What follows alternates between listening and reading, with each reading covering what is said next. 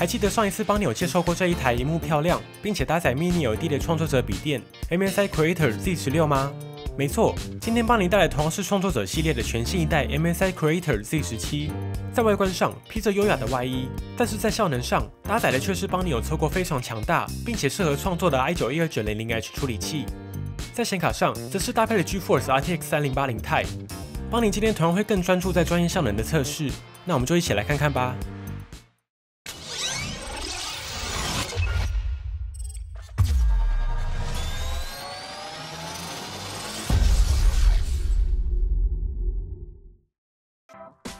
首先看到外观，这次的 Creator Z17 在外观设计上与邦尼先前开箱过的 Creator Z16 整体是比较相近的家族式设计 ID。在页面上，同样维持整片的雾面金属上盖设计，采用的是 CNC 一体成型的制成，搭配上 MSI 经典的雷雕 logo，整体的一体性还是非常好的。机身侧边采用的是亮面处理，虽然是效能笔电，但是 Creator Z17 同样保留了创作者系列的优雅和质感，也可以更好的穿梭在各种商用场合。顺带一提，Creator Z17 虽然说是十七寸的机型，不过在荧幕上采用的是十六比十的比例，加上荧幕是窄边框的设计，整体的尺寸会比十六比九的十七寸机型再少上一圈，整体更加利落，也更容易携带。耐用性上，同样也采用符合 MIL STD 八一零 G 的军规标准测试。接着是在创作者笔电上帮你很关注的重点，也就是 I/O 接孔。先看到左侧。配置了包括电源接孔以及两个达到四十 Gigabits per second 的 Thunderbolt 四 USB-C，当然也支援 Thunderbolt 的局联串接，并且左侧的 USB-C 也支援了最高一百瓦的 PD 充电，外出时就可以选择比较轻巧的 PD 充电器，就不用带一大颗的变压器出门了。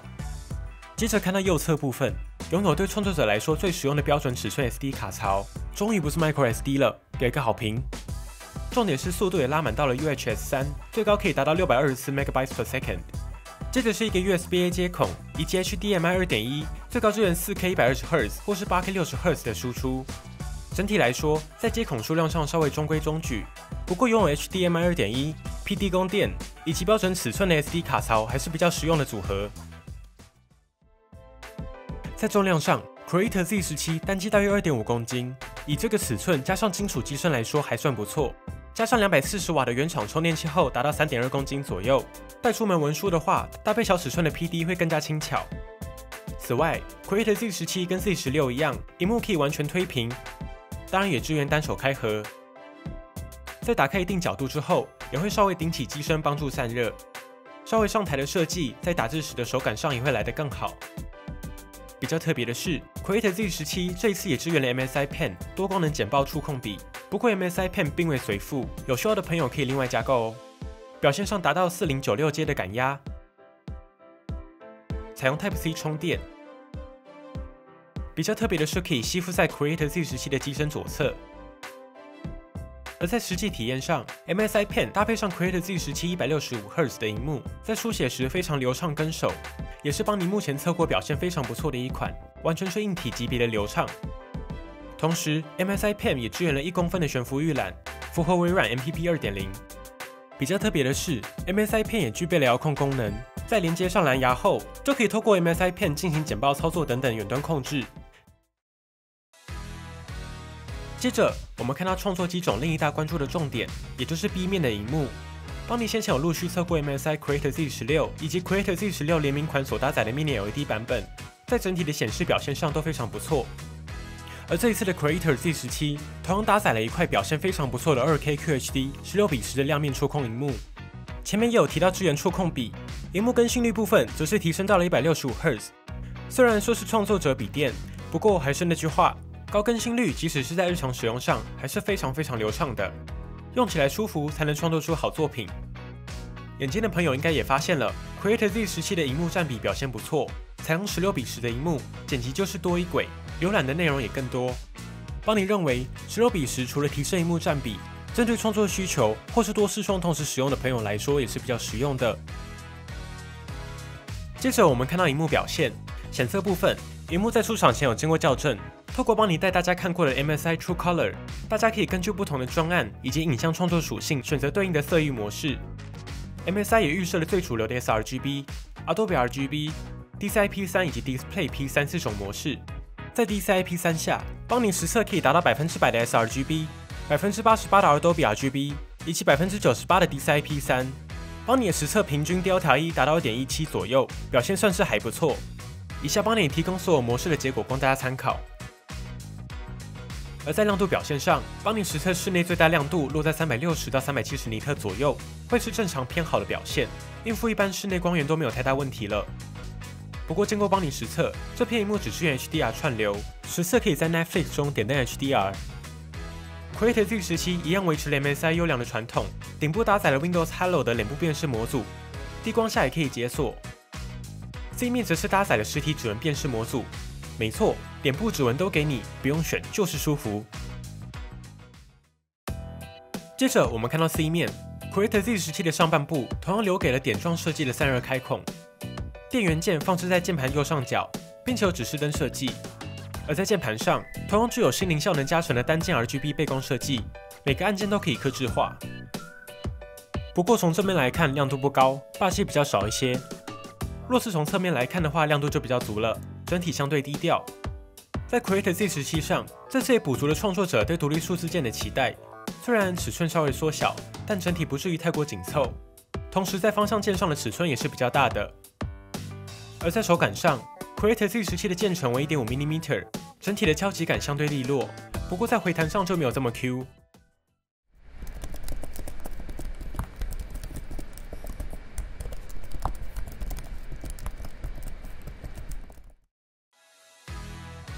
最后，这次的触控板大小很足，雾面摩擦感比较明显，不容易沾上指纹。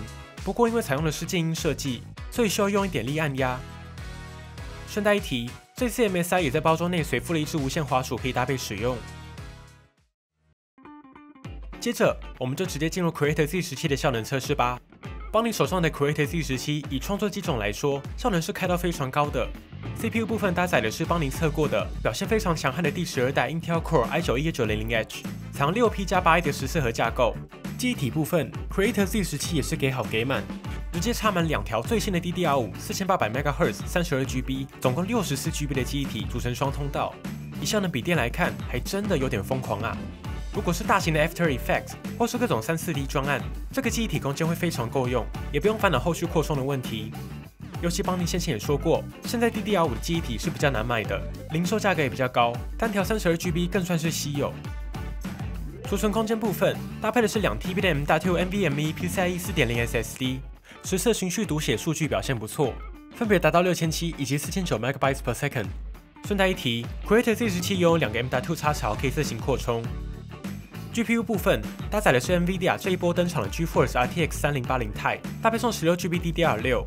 不过毕竟 Creator Z17 是创作机种，在散热体积上都更加紧凑，频率上达到了一千一百七十五 megahertz，Dynamic Boost 之下最大瓦数则是九十瓦。十六 GB 的 VRAM 对于创作需求来说还是更加充裕。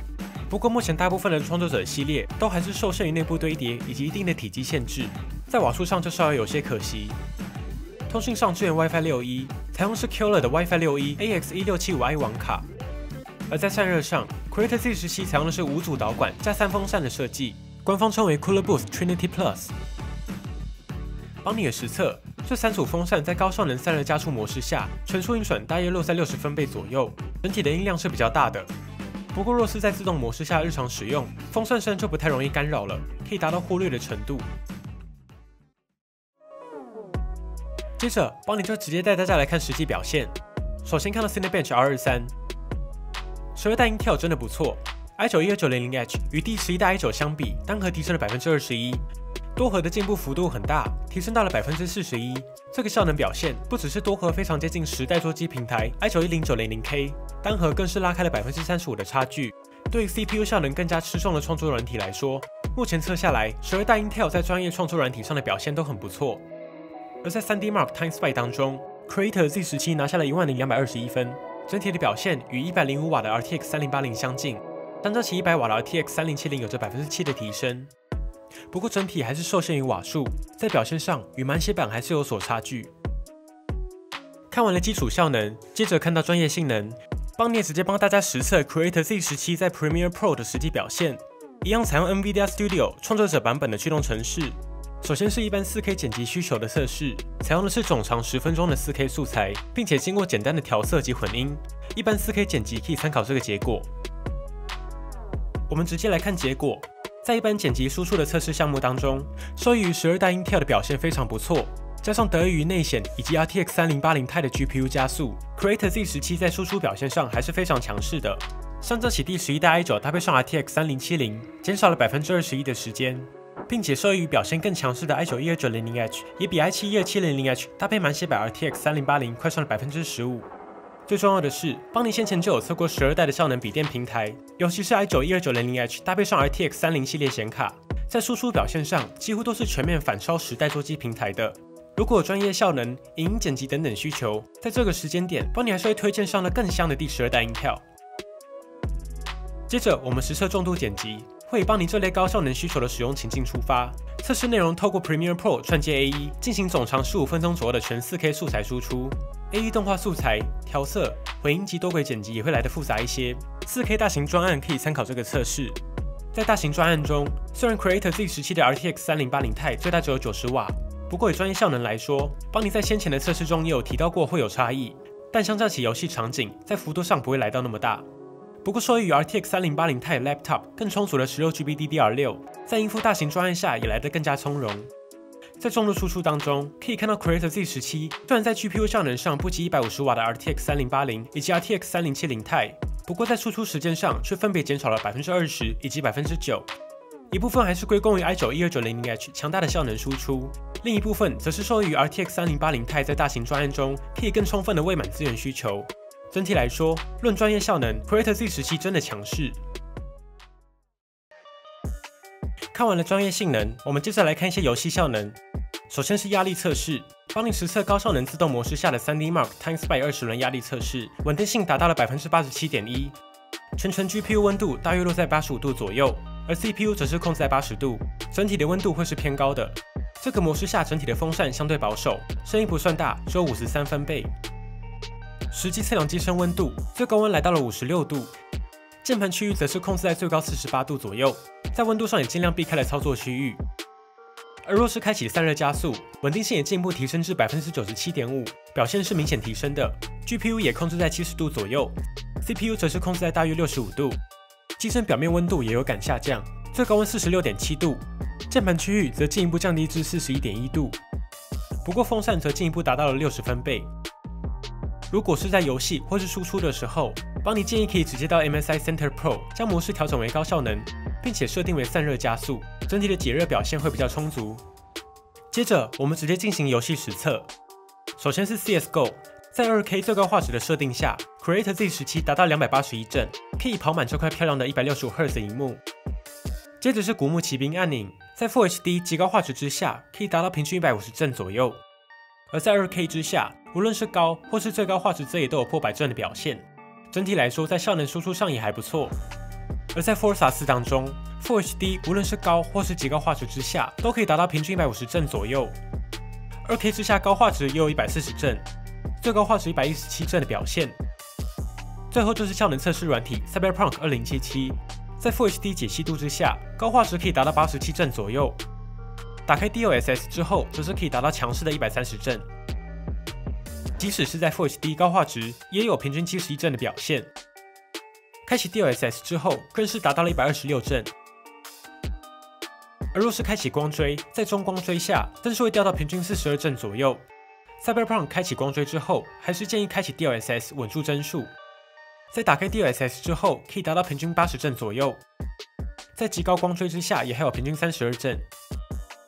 开启 DLSS 则是可以进一步达到平均七十五帧，而若是想要上到二 K 光追，目前比较好的设定还是二 K 中光追，并且开启 DLSS 可以达到平均六十帧左右。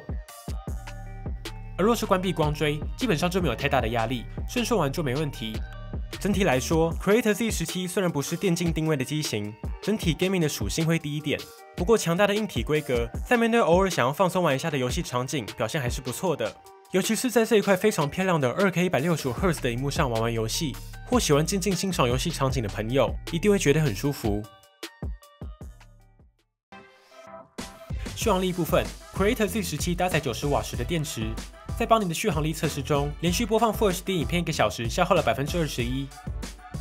而在 PC Mark 10现代办公的电池续航力测试中，最终拿下了四个小时四十一分，大约就是效能比电的正常表现。而在充电测试中，邦尼实际使用原厂随附的两百四十瓦充电器，一个小时充满百分之五十七，一小时四十六分充满百分之九十，最后百分之十为了保护电池进入慢速充电，完整充满耗时两个小时五十五分。最后，邦尼也一样提供所有跑分测试供大家参考啦。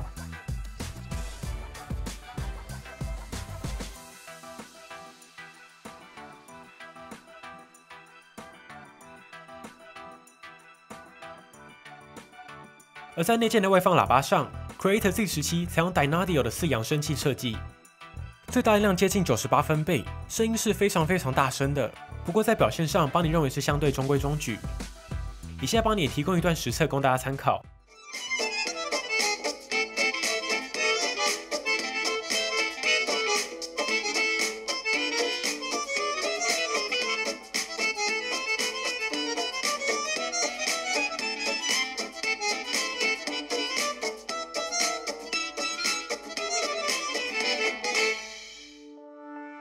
整体来说，Creator Z17 这一次的确更加专注在创作者的需求上。以接口来说，基本的 Thunderbolt 4、HDMI 2.1以及标准尺寸、速度给满的 SD 卡槽，在配置上都更加实用。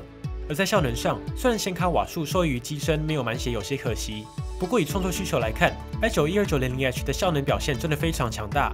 如果有重度效能和大型专案需求的朋友，这一代的 Intel 表现真的不错。显卡部分也是搭载 RTX 3080 Ti，也可以提供足够的效能输出。在影片输出 GPU 加速三四 D 的场景中，表现也是相对游刃有余的。唯一一个小提醒，在输出的时候，可以在 MSI Center Pro 中将模式调整为高效能散热加速，保持机身凉快，速度也会快上许多。好了，本期节目先到这里。如果还有任何问题或是想知道的地方，欢迎底下留言一起讨论。如果喜欢本期节目，不要忘记订阅帮你帮你，并且打开小铃铛，及时收到最新的评测通知。当然，你也可以在 Facebook、Instagram 找到我们。如果还有其他问题，别忘了底下留言。那我们就下期影片再见喽。